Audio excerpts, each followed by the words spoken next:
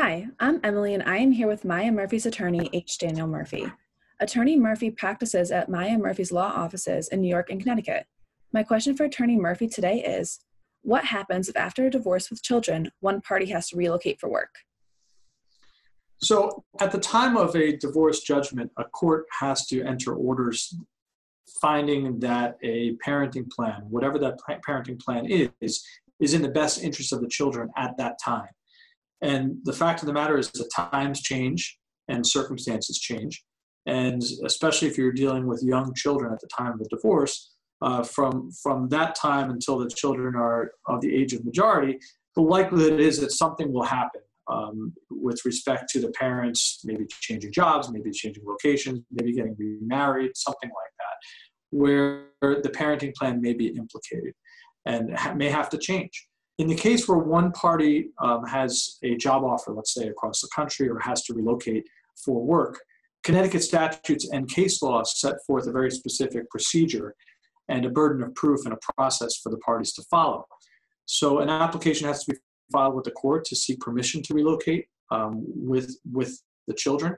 And the first question that a court would consider is whether or not the proposed move would have a substantial impact on the parenting plan that currently exists.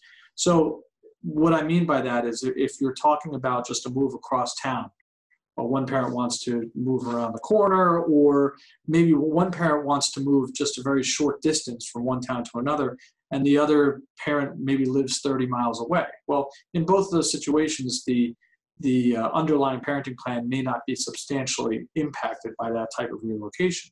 But it would be affected significantly if one party says, well, I, I want to go from here in Connecticut to California, for example.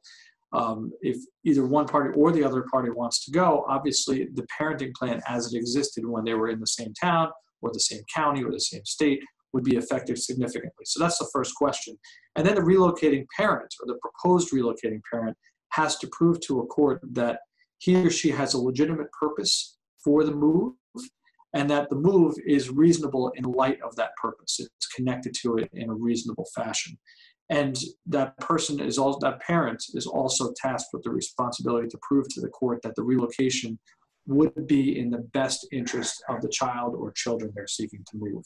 It used to be the case that the, the non relocating party, the one wishing to stay behind, here would have to prove that the move was not in the best interest of the child. That changed well more, more than a decade ago now.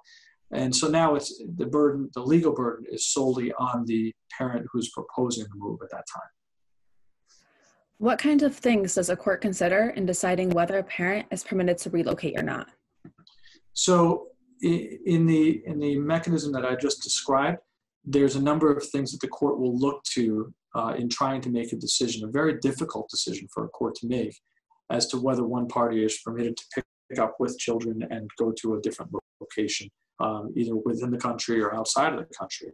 And the court's going to look at the reasons, the underlying reasons for either seeking the relocation and also look at the reasons for the non relocating party to oppose that relocation and it's going to weigh those reasons. Uh, the court is also going to look at the quality of the relationships that currently exist between both the relocating party and the children and the non-relocating party and the children. Uh, the court is also going to look at the impact of the relocation or the, the proposed impact of the relocation on the quantity and the quality of future contact with the non-relocating party. So when, when or if a party is permitted to move far away, um, how will that and to what degree will that impact the relationship that the, that the non-relocating party has with the children?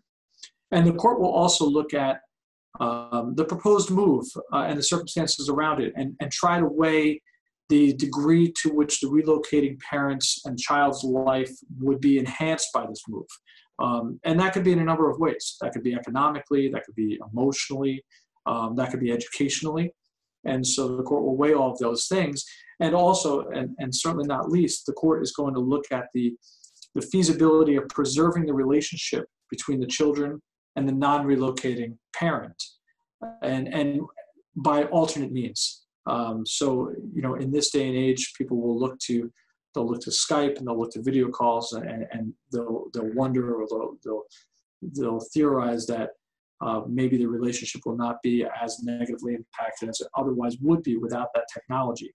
But that's something for a court to consider, um, as well as alternative visitation plans, uh, summer plans, enhanced time with the kids um, when they're not in school, things like that. So all those factors go into the pot, so to say, and, and, and the things that are considered by the court in deciding whether or not it's fair and appropriate and in the best interest of the children to allow a party to relocate with minor children.